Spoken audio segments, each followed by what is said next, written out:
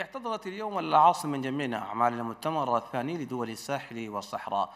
جاء تحت شعار الاستثمار في السلام ومنع العنف في منطقة الساحل والصحراء. الجلسة الافتتاحية لأعمال المؤتمر رأستها أمينة الدولة في الخارجية الدكتورة حواء عثمان. جامع فاصل الخبر مع سعيد أحمد حسن.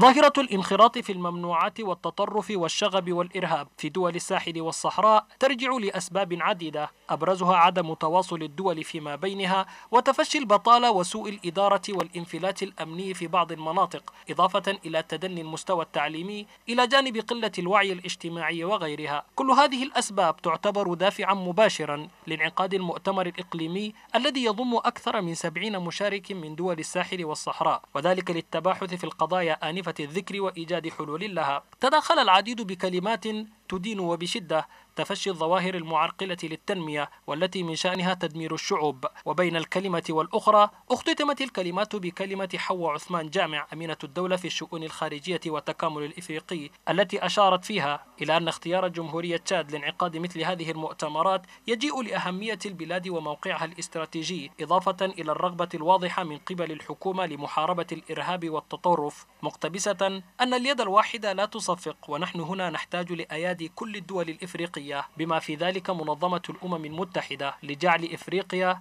أكثر الدول أمنا ونظرا لأهمية المؤتمر وما يحتويه قدم بعض المشاركين آراءهم حول ذلك أنا أتمنى أن التشاديين يكونوا كثيرين بعدد كثير لكي يحاولوا يتبادلوا أول بأول تجربتهم ويستفيدوا من تجربة الآخرين يعني. خلال اليومين إن شاء الله سنناقش بكل أريحية وبكل مسؤولية عن مدى الاستراتيجية الجديدة التي نضعها في محاربة التطرف لكي ننقذ هذه المنطقة منطقة الساحل من هذا المرض العضال. وستستمر فعاليات هذا المؤتمر 48 ساعة يناقش خلالها مواضيع مهمة لجميع الأطراف.